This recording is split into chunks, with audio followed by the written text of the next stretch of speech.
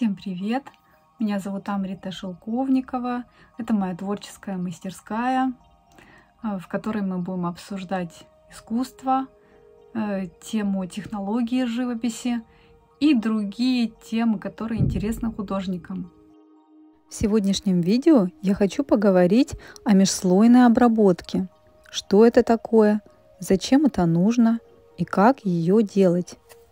Раньше когда я только начинала свой творческий путь, во время работы с многослойными картинами, особенно в которых использовалось очень много слоев, и эти слои были очень тонкие, у меня, но и не только у меня, случались разные проблемы. Иногда я сталкивалась с тем, что краска попросту скатывалась с гладкой поверхности предыдущего слоя, как вода скатывается со стекла – или же, если она немного прилипала, то ложилась просто ужасно и некрасиво. А работа на вид становилась скользкой и какой-то резиновой. Одно время я даже думала, что работу нужно писать только в два слоя максимум, потому что остальные слои просто-напросто не ложатся. А если мне все-таки удавалось преодолеть первые две проблемы я дописывала картину до конца, то возникала еще одна сложность. Когда я покрывала работу лаком, то верхние слои сморщивались, как клеенка, или краска растворялась. Это те проблемы, которые возникают сразу, как показатель плохого сцепления. Но бывает так, что у вас все завершилось хорошо и ничего ужасного не произошло.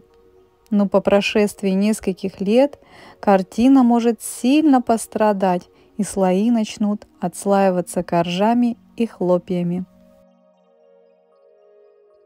Что же необходимо делать, чтобы этого не произошло? Как сделать ваши произведения искусства не только красивыми, но также очень качественными и прочными? Я вам покажу это на примере одной из своих работ – Как вы видите, я пишу на мелкозернистом холсте. Это ультрамелкое зерно, и поверхность очень гладкая. Такая поверхность дает очень красивый результат. Если вы пишете гладко, тонко, то не видно мазков кисти. Это просто замечательный холст для многослойной живописи. Пропись на таком холсте можно доводить до совершенства даже на стадии подмалевка. Но в этом материале есть свои минусы.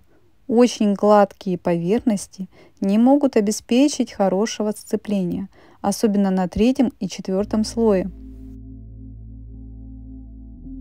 Книгах по технологии обычно рекомендуют немного поскоблить поверхность лезвием или тонкой наждачкой – но не в случае с этой картиной. Тут уж больно тонкие глазури. Да и Леонардо вряд ли скоблил свою Джаконду, поскольку в ней совсем тонкие и хрупкие слои. В случае с такими работами я рекомендую пройтись по хорошо просохшему слою ретушным лаком. Он немного разрыхлит предыдущий слой и создаст липкую пленку, и создавая хорошую адгезию между слоями. Адгезия – это сцепление, соединение одного слоя с другим. Но по такой поверхности бывает сложно работать, поскольку ретушный лак, хватаясь за сырую краску, быстро высушивает ее и невозможно делать растяжки. В таком случае я использую небольшое количество уплотненного льняного масла, смазывая им всю поверхность. Что ж, теперь можно работать дальше. Я продолжу свою работу по подготовленной поверхности. В этом видео я рассказала вам про один из доступных и проверенных способов, как сделать межслойную обработку и обеспечить надежное сцепление слоев. Если вам понравилось это видео, то поставьте лайк, порекомендуйте это видео своим друзьям и подпишитесь, чтобы не пропустить новые видео на моем канале. Всем пока!